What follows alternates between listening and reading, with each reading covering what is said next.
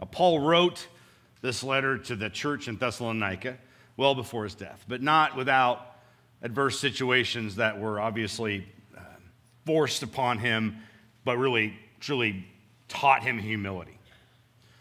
When we view this letter and examine and study it, and we actually learn about it, we're going to see Paul in the height of his missionary work.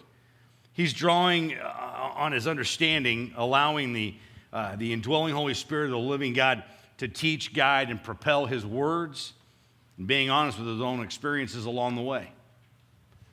Paul didn't realize at the time he wrote his letter that it would stand the test of 2,000 years and be taught in pulpits around the world this entire time. That wasn't his mission. He wasn't writing for literature for all time that he was aware of. He was trying to help the church in Thessalonica. Amen? That's a mission. That's a mission. At the end of his life, he was still on this mission, hours, hours before his own death. He wrote his own final words in his last final epistle of 2 Timothy that would be carried to his understudy, Timothy. And this was a warning to the church in the last days to stay the course and to not lose hope. To not lose hope especially amidst adversity that us true believers actually face. What a beautiful understanding that we must absorb and that we must draw encouragement from because we all need it. We all need it. In our call to worship this morning, I'm going to read from 2 Timothy chapter 4, verses 1 through 5. I charge you in the presence of God and of Christ Jesus, who is to judge the living and the dead, and by his appearing and his kingdom, preach the word, be ready in season and out of season, reprove, rebuke, and exhort with complete patience and teaching, for the time is coming when people will not endure sound teaching, but having itching ears, they will accumulate for themselves teachers to suit their own passions, and will turn away from listening to the truth and wander off into myths. As for you, always be sober minded, endure suffering, do the work an evangelist, fulfill your ministry. He was writing this about the church, not the culture. The culture is going to culture. They're anti Christian. Technically, they're apart from God. The Word of God tells us there's those with God and those apart from God. So the culture is going to culture. He's writing this about the church. But he would go on to say the infamous words next. Totally didn't even know what guy was going to talk about today, by the way. And he didn't know I was going to bring this passage up. I have fought the good fight. I have finished the race. I have kept the faith. Henceforth, there is laid up for me the crown of righteousness, which the Lord, the righteous judge, will award me on that day, and not only to me, but also to all who have loved his appearing. Praise God for the reading of his word today loved the truth of the resurrection, loved his appearing. That's what that means. Faced with adversity, Paul persevered. This is what the gospel does for us. And every day, every day, for those of us who will actually trust in God. See, your trust in God is not predicated on how well your life is going.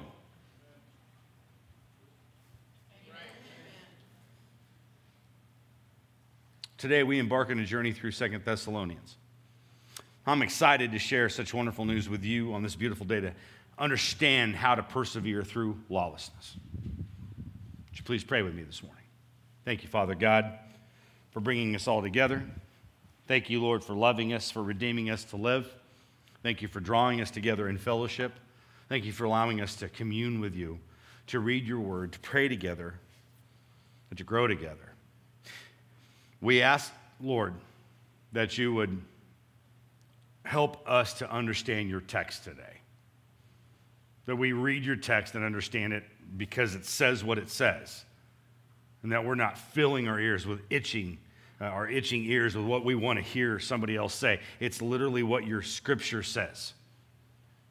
Humble ourselves before your throne is what we will do right now.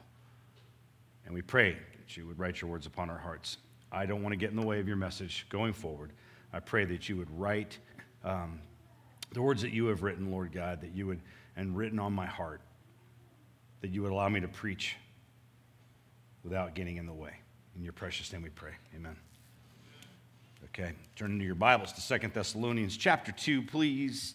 This entire thought that we're going to learn from today is predicated on the understanding of the return of Christ.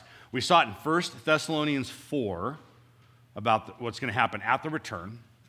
And then Second Thessalonians 1, he's writing again because there was some there were some things that he needed to write about clarity.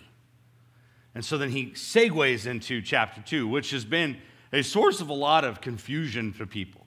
Um, and I, I, I guess I never saw it as confusion as much as I just kind of avoided it at one point in my life but no more. We can't avoid the Word of God. The Word of God is the Word, and it needs to go forward, and we're going to teach it the way it's, it's brought to us. Amen? So, that, 2 Thessalonians 2, verses 1 and 2. Now, concerning the coming of our Lord Jesus Christ and being gathered together to him, we ask you, brothers, not to be quickly shaken in mind or alarmed, either by a spirit or a spoken word or a letter seeming to be from us, to the effect that the day of the Lord has come if we actually look at the fact that Paul was writing this to the church in Thessalonica at a time when there were many false claims that Jesus had already returned, we would understand why he's addressing this, okay? And we know that this is written to us as well. Now, a lot of us would read this and they go, well, how would we expect that Jesus would already be believed to have returned yet? We know better than that. But there are full preterists who believe that everything Jesus said in Matthew 24 came to fulfillment in 70 AD and, and, that he's already come. And that, that's heresy, honestly. It doesn't even border on heresy, that's heretical. Here's the thing, though, is that when he was leaving Jerusalem, he was talking to the disciples and he said, These are all these buildings, they're, they're going to fall. They're going to fall and they're going to crumble. He's walking to the Mount of Olives. And they're like, Well, when will these things be and when will be the return of, of your, your, your second coming? So they ask him a dual question Well, when is this city going to fall and when are you coming back? It says it right in the beginning of the text.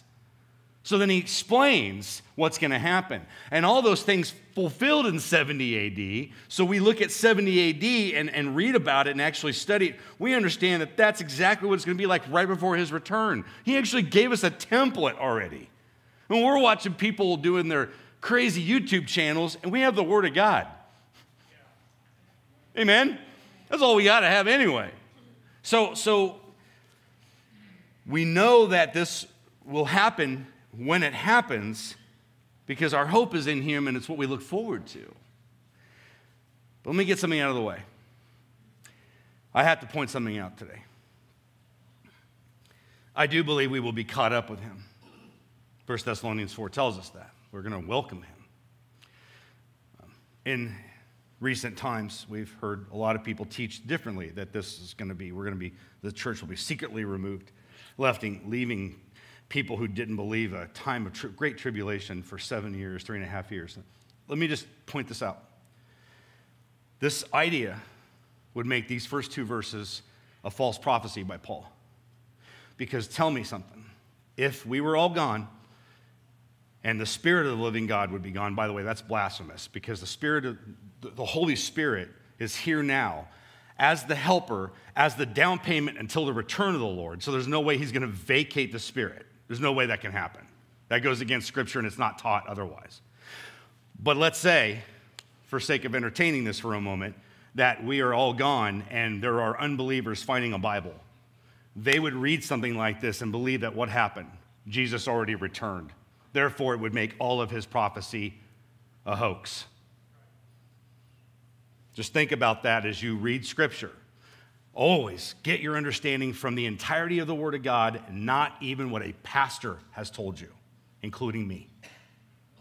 Read the Word of God corroborate the Word of God. I implore you. You cannot take my word for it. You can't take your favorite pastor's word for it. You can't take nobody's word for it. You've got to read the Scripture. You've got to listen to multiple sources. You've got to corroborate and, and completely verify Scripture with Scripture. Scripture interprets Scripture. Don't read a book called Left Behind or don't read somebody's crazy ways of how things are going to go and there's going to be flashing EMPs and the world's going to crumble on itself. Tell me something we don't know. Get your understanding from Scripture and you do not lose heart when things go awry in your life. We talk about this when people were in World War I hiding away with the gas war going on around them. Amen? You don't think that they weren't picking out their pocket Bible and thinking Christ is going to return at any moment? It was 100 plus years ago. There's always moments in time where somebody can look at it and think, oh, it's going to, hell in a handbasket. He's coming back. Yes, that's why he says, always be ready. The return will happen like a thief in the night. End story. Now, live your life and quit worrying about it. Paul said concerning the coming of our Lord Jesus Christ and our being gathered to, together to him to him, together to him. That means we're greeting him in the air. This most definitely means we're going to be raptured up to him, but it's going to happen on the day of the Lord. We can see this throughout the New Testament. He says the day, the return, we're going to be caught up to him. We're going to welcome him. What a beautiful, amazing day that's going to be. It may be while we're alive, and maybe not. you know, worry about it. Now, concerning the day of the Lord, we move to verse 3 and 4. Now, no one deceive you in any way, for that day will not come unless the rebellion comes first. And the man of lawlessness is revealed, the son of destruction. It's very poignant. Who opposes and exalts himself against every so called God or object of worship, so that he takes his seat in the temple of God, proclaiming himself to be God. So let's examine three puzzling phrases as we study today. Number one is the rebellion. There's an underlying Greek word here, it's called apostasia. And apostasia is where we draw the word apostasy from, okay?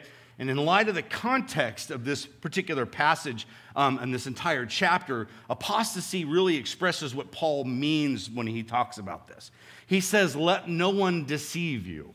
Let no one deceive you. Then it goes on to very say very distinctively about the return of the Lord. So don't, don't let anybody deceive you about the return of the Lord. Let the return of the Lord and our understanding of it come directly from Scripture in its entire context.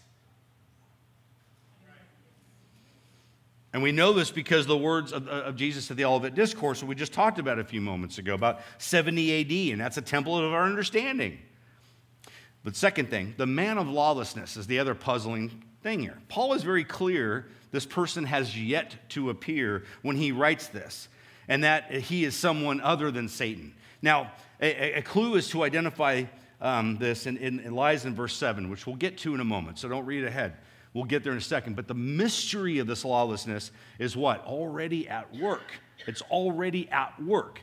And that is very uh, common when we see lawlessness to both man and the mystery, while the man of lawlessness is still something to happen, the mystery of lawlessness is already what? Occurring. It's already present. That's why he said it's already occurring. We understand when we read John, first, second, and third John, the epistle letters of John, he says that lawlessness, it comes in the form of what? Antichrist. The Antichrist, right?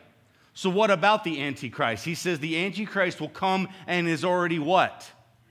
Here now. We want to leave that half of it out because it's not sensational enough. right? So, every Hollywood movie comes out with something that's not, barely references the Word of God, comes up with their own story, and people are like, we ought to rent that movie. I think it's about biblical end times. That's a biblical end time movie. I think we're going to watch it. Oh, look who's in it. Somebody who hates God. That's just got to be good. I it's like, you know, get your understanding from the scripture. It just drives me crazy how we, and even so called Christian films, propagate the whole sensational thing. Quit working at it. You don't need, you know how you, just, you get sensation inside and warm feeling? You pray. You, you have a cup of coffee with a fellow Christian. You read the text and you're blessed wildly. Lots of ways to get a real warm feeling inside. That's how you get a fuzzy feeling is that you, you commune with Christ and his, his fellow people.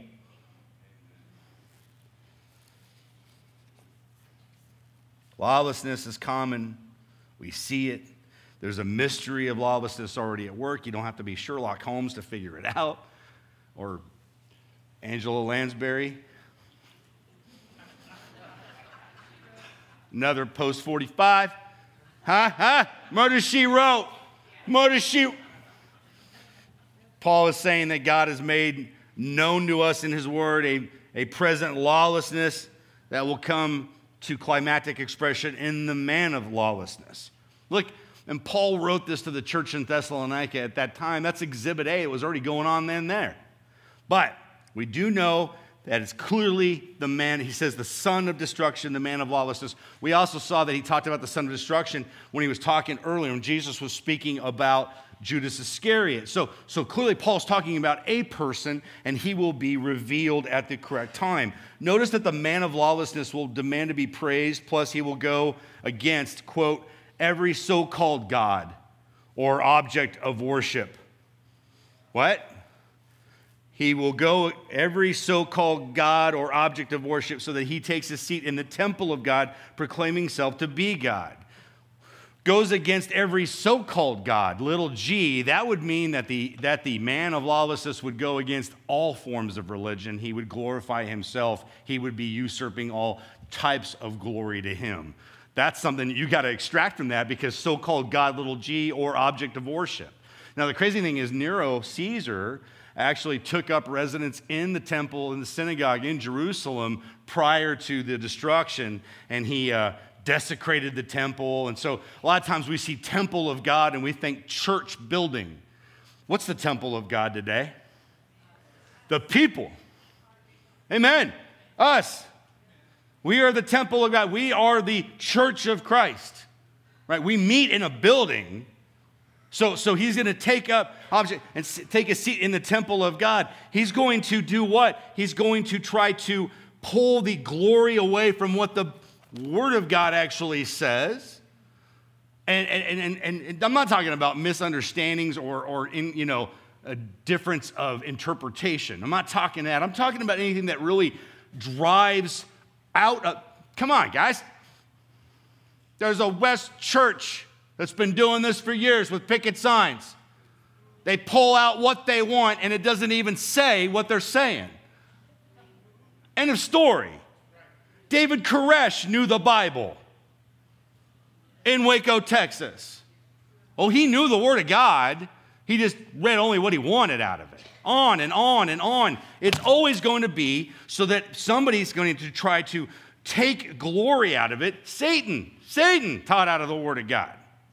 Satan taught out of it to try to, to, to try to manipulate Jesus Christ, our Savior. And he didn't bite because he is one with God. That's why teaching from the Word of God is becoming so less and less popular. But what's popular is not always right, and what's right is not always popular. Amen. We have to be careful, obviously, too, of trying to figure out the identities of the rebellion of the man of lawlessness. Because you ever notice that we do that? we do that. Somebody pops up in culture and we're like, that's, that's the man of lawlessness. Yeah. Wait. No, no, not. That's the man of lawlessness is over here. Oh, wait! He's over here. No, no, no, no. Quit doing that. Jesus says he will be revealed at the appropriate time. Amen? Look, there's always going to be political beasts and ecclesiastical antichrists. we see this all the time. And they seek to oppose the truth, and we must always be on guard against them, which leads Paul to leads to Paul's third point of this is the restrainer. Okay? And you know in verse 6 and 7, and you know what is restraining him now, so that he may be revealed in his time. For the mystery of lawlessness is already at work, only he who now restrains it will do so until he's out of the way. There is a restrainer keeping the man of lawlessness back, and inquiring minds want to know who or what is it. And, Paul speaks of this restrainer in two ways, if you didn't notice in personal uh, terms, such in he, he who now restrains it, as well as impersonal terms uh, terms when he says, What is restraining him now? So the restrainer could easily be a what as well as a who. It's impossible to know for certain, but since Paul is thinking lawlessness is transpiring within the church, the restrainer is probably also found within the church. Remember, he wrote this letter to the church as well as to us. We are all the church. When we read it, we understand that he's writing it to us as well. Amen? It's easy in any case to get to get confused. I mean, but Paul could be thinking that the gospel message, the word of God, ministers of the word of God, the government of the church, the way it, it continues to move forward, the spirit of the, of the and, and dwells the church, or maybe a combination of any of these as the restrainer. But whatever the case may be, the restrainer does exactly what God allows until he doesn't allow it any longer. Our God, let me explain something to you today that I want you to take and I want you to listen to, please. Our God is not a God of reaction. Our God already knows every hair in your head. He knows exactly what's going to happen when it happens. That's what makes him sovereign. You cannot say that you believe in a sovereign God and then believe that he only reacts to you. He's waiting for you to pray, but he already knew that you would. So get in line with His perfect will. Is it hard for our brain to wrap around that? Sure, it is. But if you believe in a God that is only uh, uh, reactionary, not proactive, then you believe in your God that's different from the biblical God. Because our God knows exactly when it's going to happen, when it's all things are going to happen, and He will return when He's ready to have it happen, and He will consummate His kingdom. That deserved a shout of amen, unless you believe in a different God than the one that's in here now. You serve a sovereign God, trust in Him. That's a shout to you, to shout for you up to Him. You believe. You guys, the sooner that we get confident in our God, the sooner we can get on living and not busy dying. Everybody you and I know are freaking out about everything going on. You don't think empty shelves are, you think they're new? You think they're new? No. Soviet Russia, you had to wait six hours in line to get your milk and then three hours to get your flour. You and I don't have a clue what it's like to suffer. Amen? We're spoiled. But it doesn't mean that it's not important. It doesn't mean that you're a bad person because you live in America. You're an amazing person because you're created by God, regardless of where you live. And here's the other thing, though, is that God selected you, He chose you. The scripture tells us this in this chapter. That's hard for me to get over because I think, I don't, I didn't deserve to be chosen. Why did He save me? He does whatever He wants because He's God. And I praise him because he saved me. In any case, what's important is we understand that he put it all together. Now, here's a few things that he wrote that I want you to hear verses 8 through 12. And then the lawless one will be revealed, whom the Lord Jesus will kill with the breath of his mouth and bring to nothing by the appearance of his coming. He will bring to nothing, he will squash to nothing when he appears. The appearance of his coming will do this.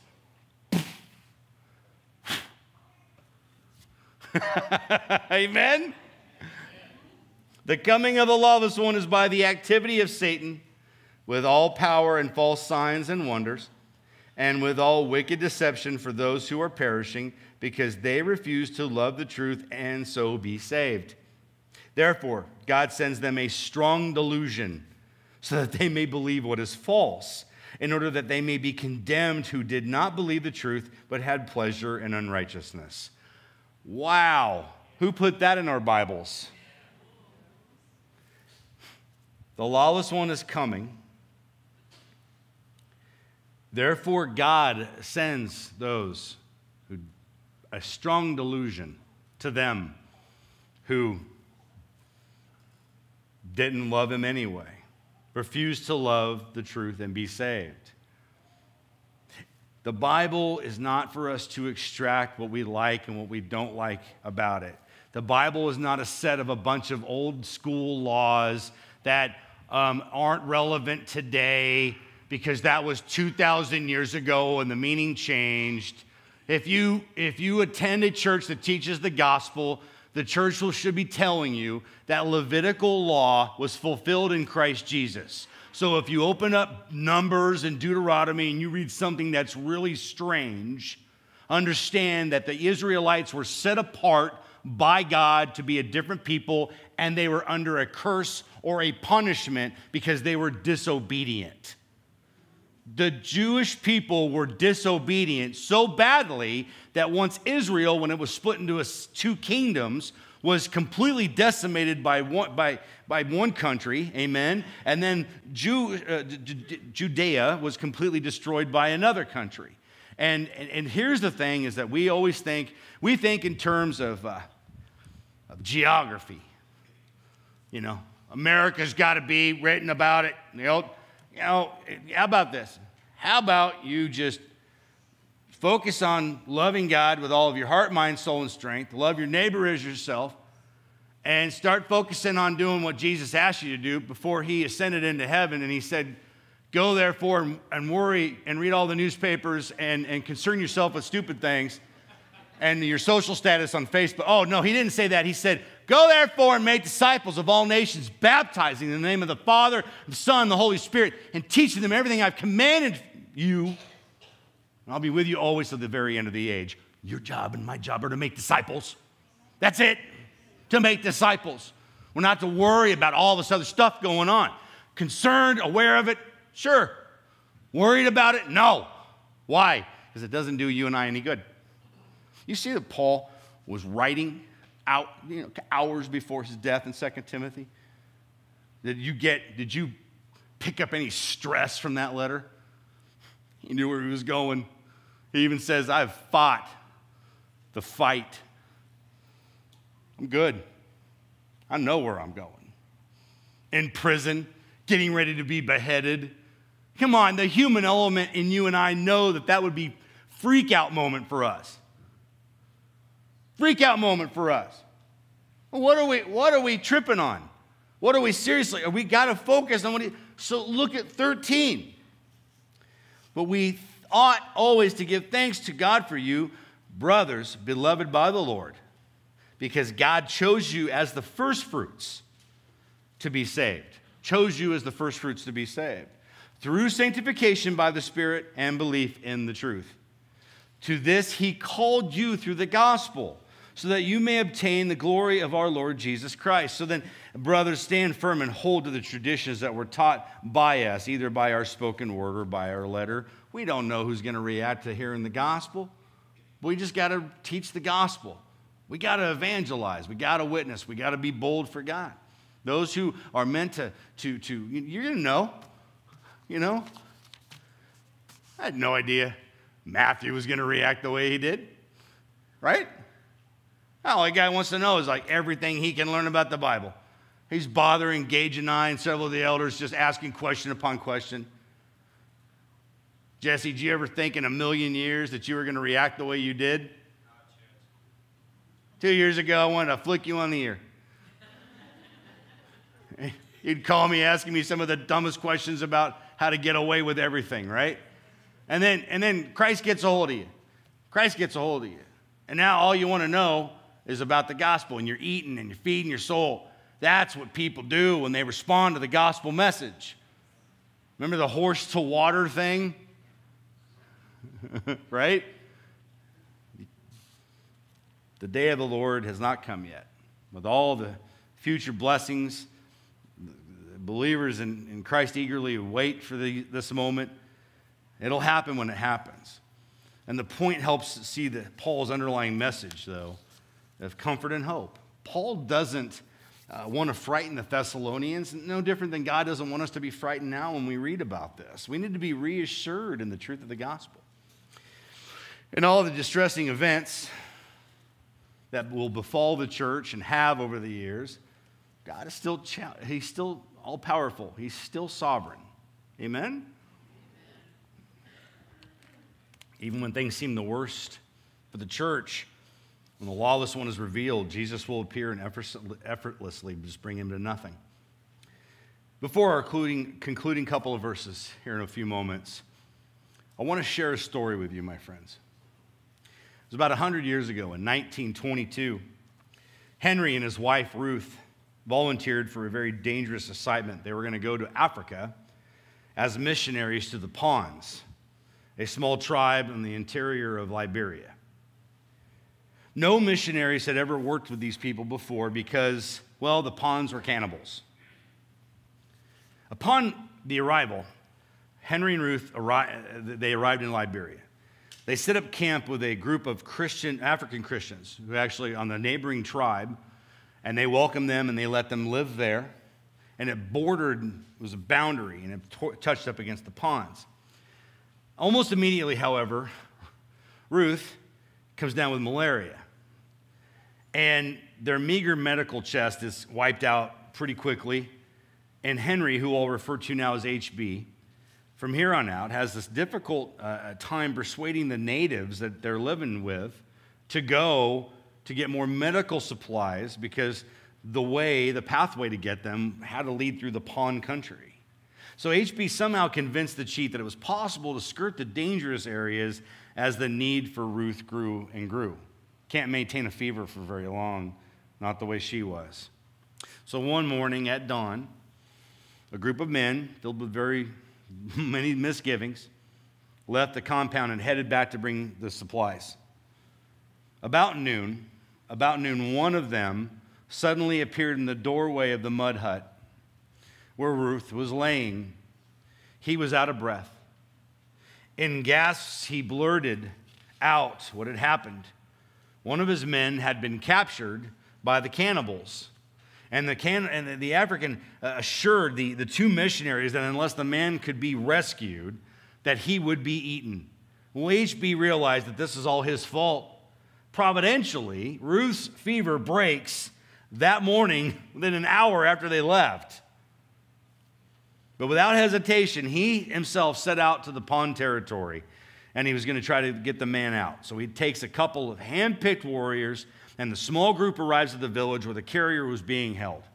And he peeks cautiously through the fencing and he looks through and he notices that there's two sentries posted outside of one hut. And two men carrying spears squatted outside in the dust. Their hair was braided in long pigtails, and their front teeth were filed to a point. That would be the prison, HB figured out. He turned to his men and he said, I'm going in. If there's trouble, I want you to make noise, and hopefully I can escape in the confusion. So he was counting on two facts of helping him here. One was he was probably the probability that the Pons had never seen a white man before. And he hoped that, that this would give him the advantage of surprise. The other was that he believed the miraculous stories of the Word of God. He believed that sometimes supernatural things happen in moments like these. He prayed as he stepped into the cannibal's compound, and he prayed nonstop. He prayed without ceasing. He was praying that God would show him step by step on what to do. And he just decides he's going to walk as straight and as tall as he can, and he walks directly to the hut. And as he strode, the two guards were probably too astonished to stop him as they just stared. And he walked between them and he ducked inside the hut. And in the dark interior, he crawled forward and on his hands until he touched what was clearly the center pole and his friend from the neighboring African tribe tied to it. So he pulls a knife out of his pocket and he cuts the bonds. And the carrier spoke to him after he takes off his covering off his mouth but he was incapable of making any effort on his own behalf to leave because he had been beaten. So outside, he hears the, the shouting and the rumble of voices and the feet slapping as the, on the packed earth as people are clearly running around, noticing that there is a guy here in their, in their jail cell hut. So he drags the man out, and as soon as he gets out, he realizes that they've all swarmed and they're all standing there with knives and hatchets and spears, and they are yelling, and they are, are mad, and they are livid that he is there in their camp. HB listened for his own men to begin this distraction. And outside the compound, there was all silence. He knew he had been abandoned. All that he could do was think on his feet, and all he could do was pray because, directed by the Spirit of God, he sets his friend down against the hut, and then he sits down right outside on the other side of it where there was a, a, a, a skeleton head of an elephant. All the while, he continues to pray. He sits down, and the crowd kept his distance, but they're still yelling and they're milling around, but not coming close. HB sat quietly, he finally, the people squatted down in, in a semicircle facing the hut, and the witch doctor runs a few steps towards him and stops, and he holds out a reed wand and it shakes it at him, and then starts back and forth and back and forth uh, between the missionary himself and the chief. And he's talking loudly, and he occasionally gestures uh, toward the prisoner. And HB could not understand a word he said, but it was clear to him that he was on trial. HB was on trial. He did this for about an hour, then he abruptly stops and he comes over and he peers at him and he stretches his neck at him and then he throws the reed wand down and he steps back and they all go crazy. With great ostentation, after laying the wand on the feet of the ground of HB, he picks it up and he realizes that he's got to be the one now to give his appeal. How is he going to possibly do this? He doesn't know their language. He doesn't know what he's doing there. If you know anything about Africa, the different tribes have their different dialects. They don't all speak the same language. Silence falls over the tribe. He sits there and he's starting to think about how he's going to speak in his own defense. How is this even going to happen? He doesn't know a word of their language. The crowd began to grow restless and stalling for a time. HB stands up and picks up the wand and, and, and instantly the natives fall silent. And he just prays. He says, Lord, show me what to do. And then he remembers Mark 13, 11. And when they bring you to trial and deliver you over, do not be anxious beforehand what you are to say, but say whatever is given to you in that hour, for if it is not you who speak, but the Holy Spirit of God he suddenly feels a strange boldness. Takes a deep breath. He starts to shake and he thinks he's nervous, so he's trying to hold it and keep it together. But then he begins to talk, and from his lips flow words which he did not understand. The natives, all looking at him, begin to lean forward. They're enthralled. He saw that the words, whatever they were, had a stirring effect on them, those who listened. He knew beyond a doubt that he was speaking to the Pons in their own language. For 20 minutes, HB talked to them, not knowing a word of what he said, but trusting and praying through it the entire time. And as suddenly as the speech power came, it vanished and stopped, and he knew he was at the end of his discourse. He sat back down. There was a moment of waiting while the chief and the witch doctor put their heads together, then straightening, the witch doctor gave an order, and he brings over a rooster and he snaps his neck and he pours the blood on top of the heads of both HB and the African prisoner. HB later inter- interpreted this as a meaning the, the, the rooster had filled the blood of propitiation. This is very common practice throughout mankind. Blood has got to be shed. He figured it no other way. A few minutes later, HB and the captured man were standing up, and the Pons cleared the path, and two of their warriors led them out back to where they came from. Within time, the Pons gave up their cannibalistic ways. And they would work with Ruth and HB and the rest of the African Christians. And they would, in time, convert to Christianity because they would hear, believe, and repent in the name of Jesus Christ. 100 years ago, they bring, they experience something that is hard for us to believe. Terror along the way, bringing the gospel message to an indigenous people. Are you kidding me? And one of, the, one of the greatest missionary journeys ever shared in a book called Before They Kill and Eat You today. I pay homage to my great aunt and uncle. Ruth Ann, and H.B. Garlock. And it's stories like this in the book that when I read that, uh, I'm, I'm penetrated in the heart to know that God encourages and equips every one of us for everything we ever go through. Just like Paul, as he faced adversity, my family did too, and they persevered, and you and I will too. That's what the gospel does for each of us. 16 and 17 now, may our Lord Jesus Christ himself, the God our Father, who loved us and gave us eternal comfort and good hope through grace, comfort your hearts and establish them in every good work and word. That's the good news of Second Thessalonians 2. God's on his throne and we are in his hands. Mic drop God. Amen.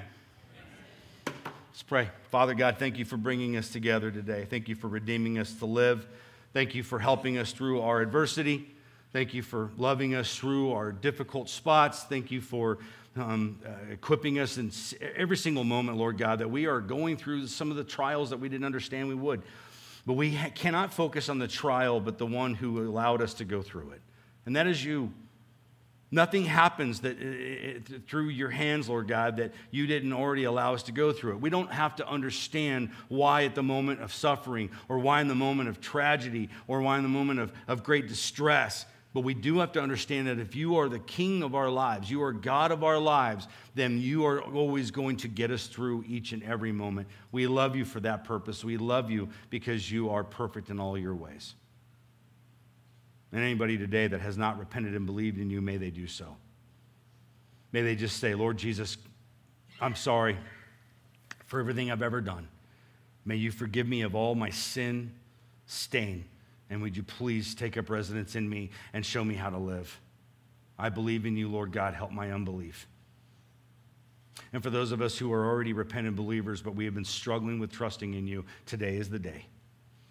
We're going to give up our childish ways and we're going to spend more time with you in your word and more time in prayer.